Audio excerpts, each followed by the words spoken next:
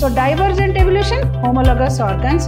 Convergent evolution, analogous organs. One called white-winged moth called Biston betularia and the other one called melanic form called Biston carbonaria. What is paleontology? Study of fossils. So fossil study is also one basis. So what is adaptive radiation? How do we define the word called adaptive radiation?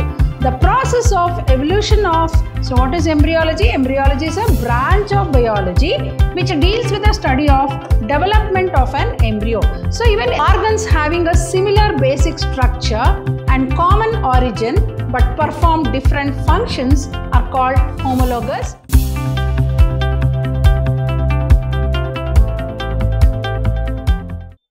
Hello everyone. Welcome back to this very interesting chapter called evolution. Session 3 of this chapter called evolution. Myself B. From the Department of Biology, Vidhyaashram Pre-University College, the Temple of Excellence. What did we learn in the last session? Hope you remember. We studied about the evidences. As we all know that evolution is incredibly and unimaginable slow process and it is very difficult to observe the process in one's lifetime.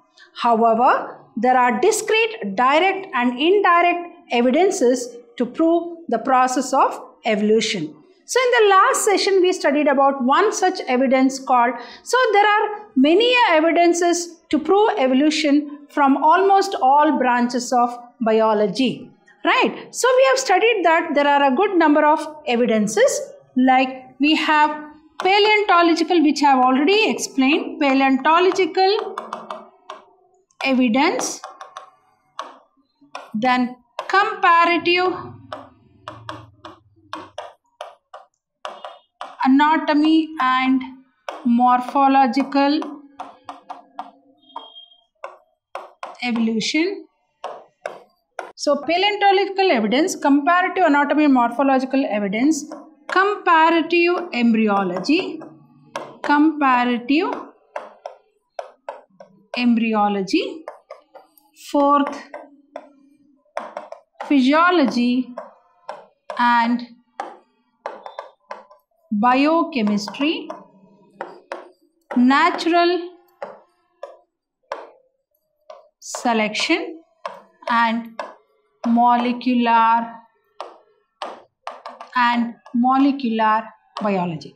So hope you remember uh, there are many a good number of evidences put across almost in all from all branches of biology.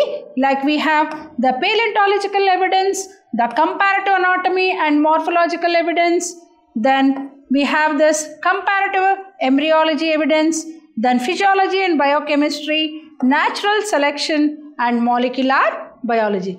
In the last session, I have explained about paleontological evidence. What is paleontology? Study of fossils. So, fossil study is also one basis to prove the process of evidence. Moving on to the second very important evidence that is comparative anatomy and morphological evidence. The very word itself will tell you what is anatomy? Study of internal structure. What is morphology? Study of external features. So what is this comparative anatomy and uh, morphological evidence?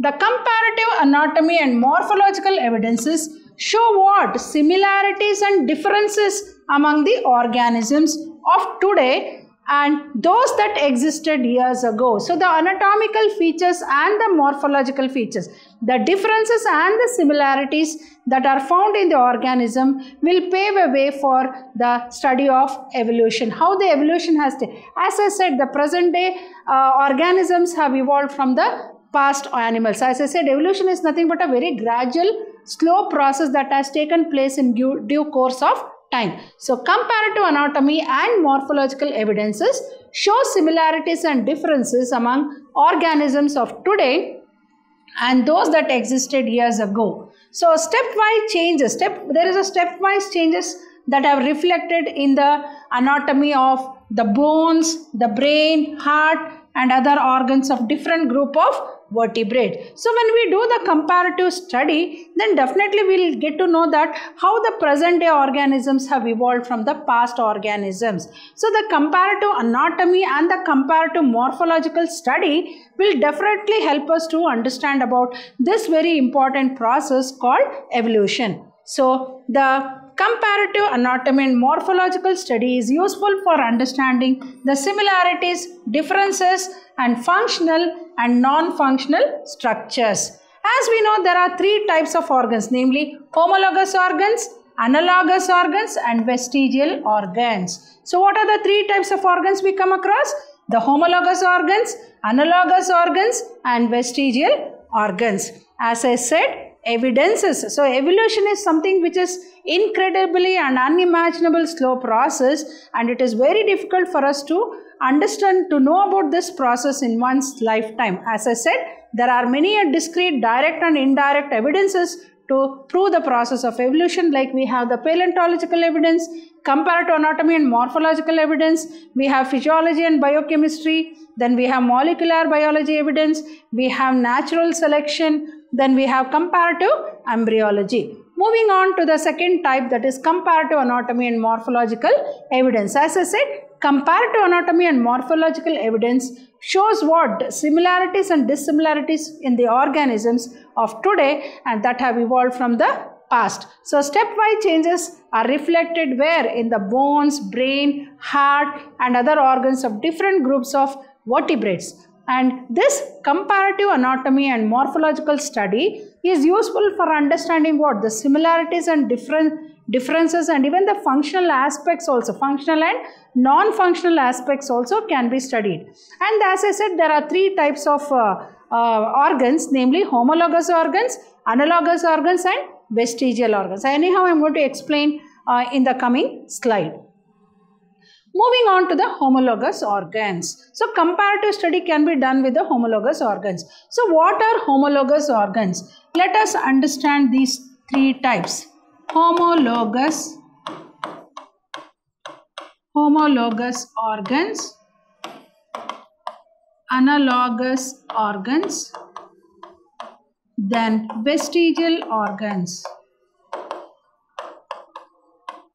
Here the picture what you are seeing is homologous organs. What are homologous organs?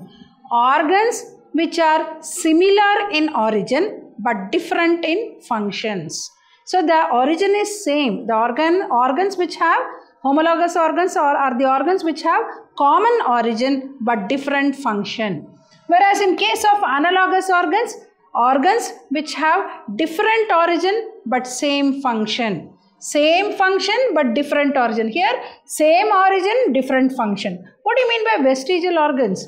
Organs which are present but are of no use. For example, like the appendix in human body is a vestigial organ. Though it is present, it is of no use. So, the such organs are called vestigial organs. So, let us study about the first one called homologous organs. As I said, homologous organs are those organs which have a common origin but different function. So what are this? Homologous organ. You can see this beautiful picture you can see. Right? Organs having a similar basic structure and common origin but perform different functions are called homologous organs.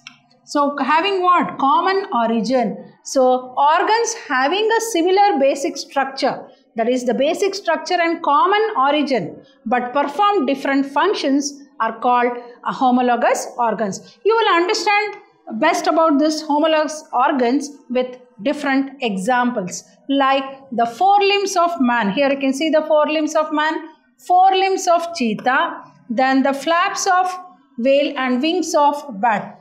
You can take the other example.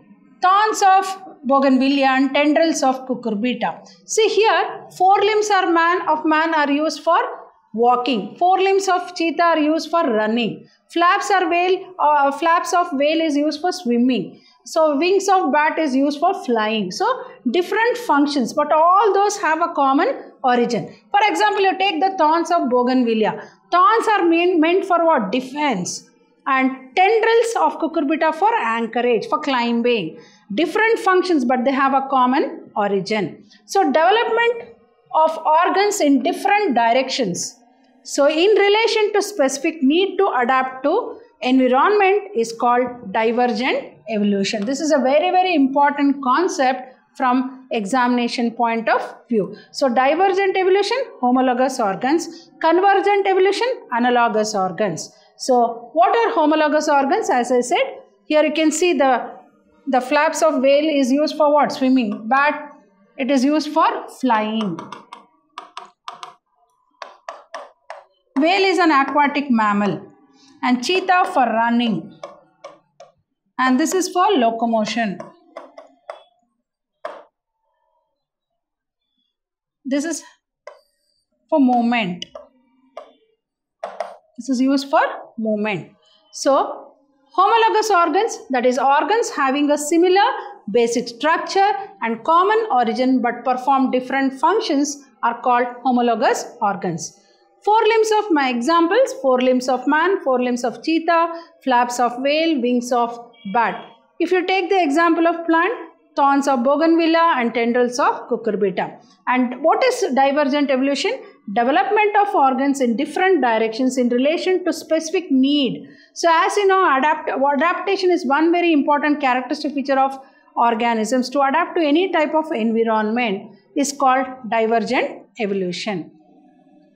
Moving on to analogous organs. Here you can see in this beautiful picture the wings of bird, the wings of bat and the wings of butterfly.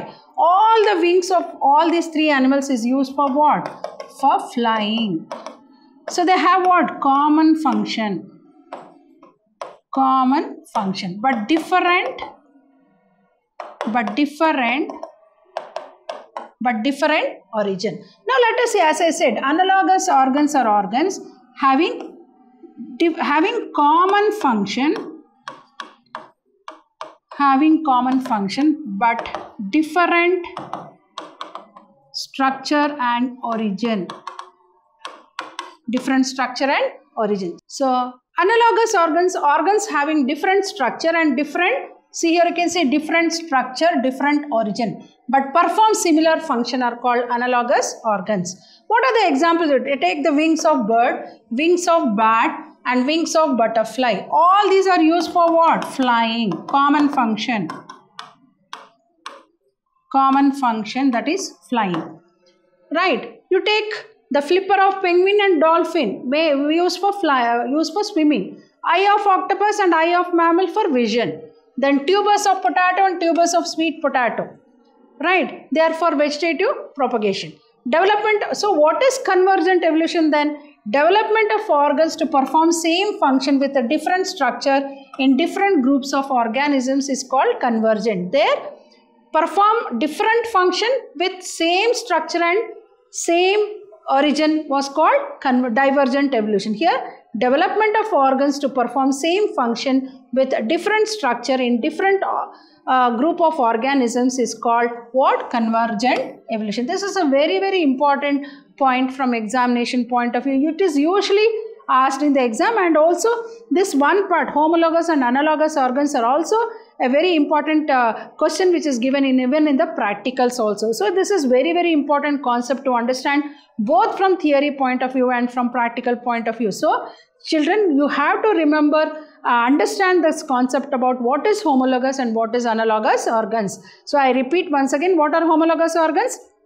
organs which are having common structure and common origin but different functions whereas analogous organs are those organs which are which have common function but differ different structure and origin. So uh, homologous organs divergent evolution. Analogous organs convergent evolution. And you have to remember the examples. Their best example is what? Thorns of bougainvillea and tendrils of cucurbita. Here you can take the example of wings of birds and wings of bat, right? So these examples are also very important from examination point of view. As I said, uh, th there is one question in your practical which is related to this particular concept called homologous and analogous organs. Here moving on to the next evidence called embryological evidence. What is embryology? Embryology is nothing but a branch of biology which deals with the study of development of an embryo. So what is embryology? Embryology is a branch of biology which deals with the study of development of an embryo. So even embryological evidence also gives a very very important uh, evidence to prove that evolution has taken place. As I said, evolution is nothing but a gradual process. So by uh, seeing the embryological evidences also we can see how the present day animals have evolved. So study of developmental history of organisms is called embryology. Early embryos of several vertebrates pass through common development stages such as morula, blastula and gastrula indicating common ancestry. So there are different, uh, what is embryo developing individual is called as an embryo and you know the zygote that is formed after the fusion of uh, the male and the female gamete forms into an embryo with various developmental stages with various developmental stages like you have come across blastula, morula and gastrula. All these are the developments. So here you can see in these beautiful pictures how the animals have evolved. So here you can see the salamander, here you can see the chick, then here you can see the cat, here rabbit and human. How the embryos have evolved. From there to here you can see how the animals have evolved. So you can see the lot of changes in the embryological development. Embryological embryological development. So study of the embryos will give us an idea that how the present day animals have evolved from the ancestors. So when we come across we find that uh, most of the developmental stages like morula, blastula and gastrula all indicate what common ancestors. Even the present day animals have all these developmental stages.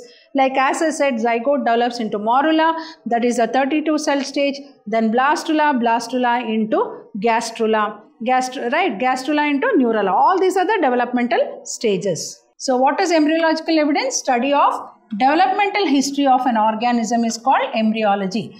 Early embryos of several vertebrates pass through common developmental stages such as morula, blastula and gastrula indicating common ancestry. As I said, evidences from the form the very discrete, uh, uh, very important uh, for uh, to prove the process of evolution. So many are direct and indirect evidences are given or uh, to explain the process of evolution. So one such evidence is the embryological evidence.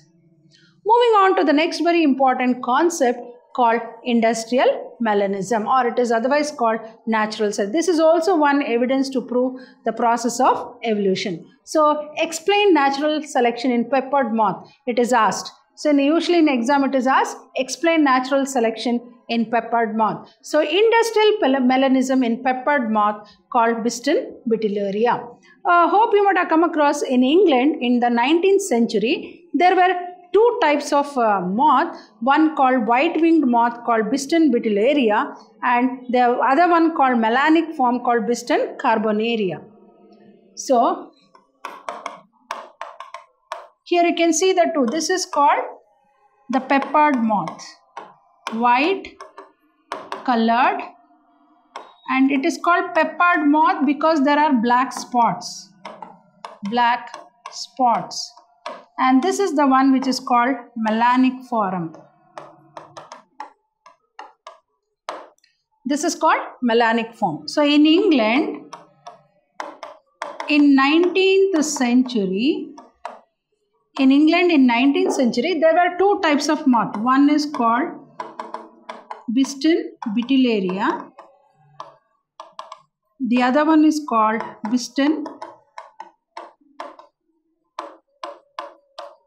carbonaria. That is, one was the white peppered moth and the other one was the black or what we otherwise call it as melanic form. So this is the melanic form, Biston carbonaria and this is the white form. White form. This is the melanic form. This is the peppered moth and this is the melanic moth. So now let us study. This is a very very important concept from examination point of view. So what happened is, it is just like a small story. uh, in uh, England in 19th century, there were two types of moth. One is called Biston Betularia, which is white colored and with peppered, and it is called white colored peppered moth because it had black spots. The other one variety was the melanic form called the Biston carbonaria. Here you can see this is the one variety and this is the second variety. So in the 19th century, this variety was around 99% and this was around 1%. That is before the industries, uh, before the industrial revolution. So in 19th century, around 99% were the white forms, white peppered forms and 1% was the melanic forms. As such, this white peppered moth uh, were, uh, uh, were taking the uh, help of the support of the tree trunk uh, which was uh, filled with lichens. So here the lichens, you know, the, it is the almost white color and this provided a background for the white peppered moth to protect itself from the predators. So when the white uh, white colored peppered moth were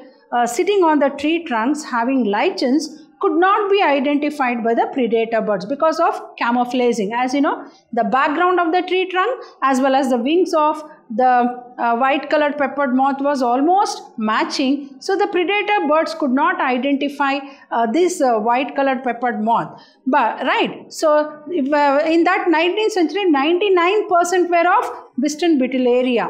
But as the days passed by and due to industrial revolution more and more industries started coming up in England. And what happened is so due to the uh, soot black smoke that comes out from the industries the white peppered moth started becoming what? The, the you know there was one more uh, but they get they got transformed into the melanic forms black forms. And why? This was like you know uh, as you know natural nature itself will select the best to survive and the weak will perish so what happened is, so there was one more variety called Biston carbonaria, which was a melanic form. So after the on uh, after the industrial revolution, as industry started coming up, so it was vice versa. That is, the melanic forms, melanic forms were 99% and the white peppered were 1%. So before in 19th century it was what? In 19th century it was that is, we find that the white peppered moth were 99% and the melanic forms was 1%. But after the industrial revolution, the melanic forms got transformed into 99 forms. They were more dominant than the white peppered moth and as such as you know the black soot started uh, depositing on the tree trunks and the black colored uh, the melanic forms could not be identified by the predators as it was camouflaging the background but whereas the melanic forms could be easy that is the white peppered moths could be easily identified by the background because the background was dark and these were white peppered moths so they were easily eaten by the predator birds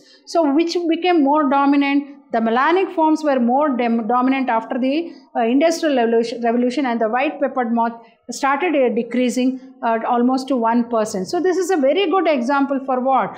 For natural selection. Nature selects the best to survive and the weak will perish. So let us once again uh, go through this industrial melanism or which is a classical example for natural selection.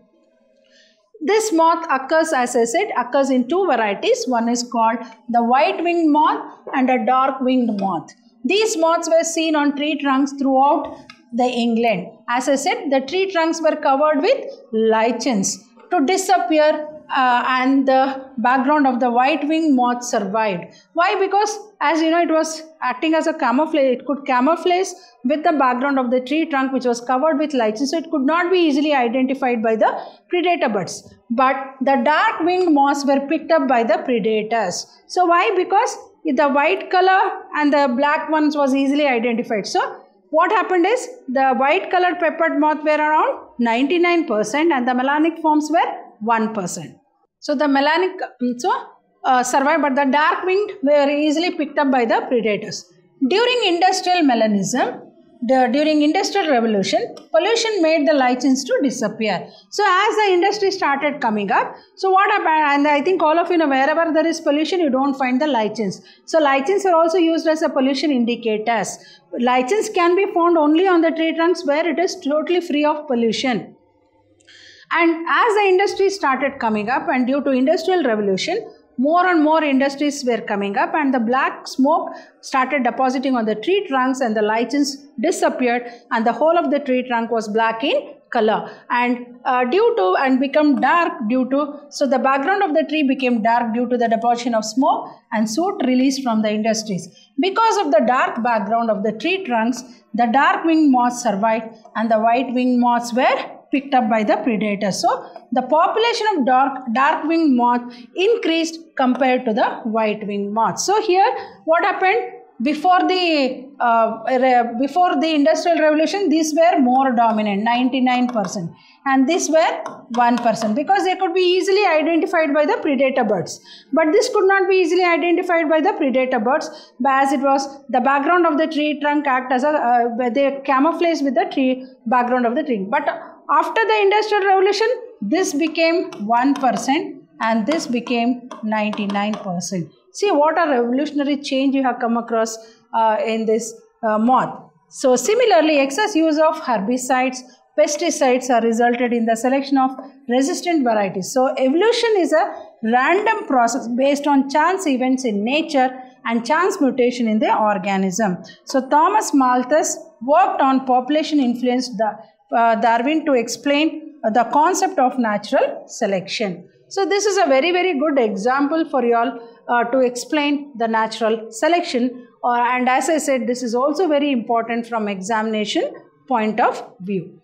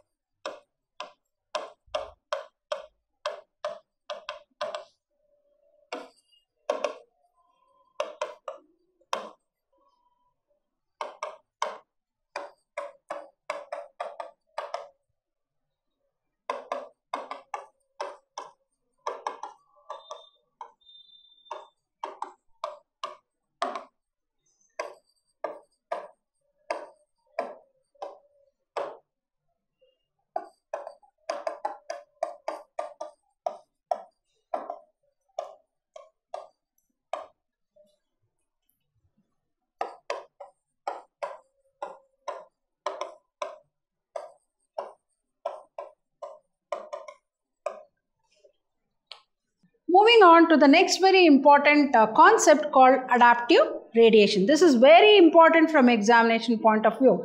Definitely they'll ask about what is adaptive radiation, what is adaptive uh, radiation? Give an example. So this is very important from examination point of view. So what is adaptive radiation? How do we define the word called adaptive radiation? The process of evolution of different species in a given geographical area starting from a point and radiating to other areas is called adaptive radiation. I repeat, what is adaptive radiation?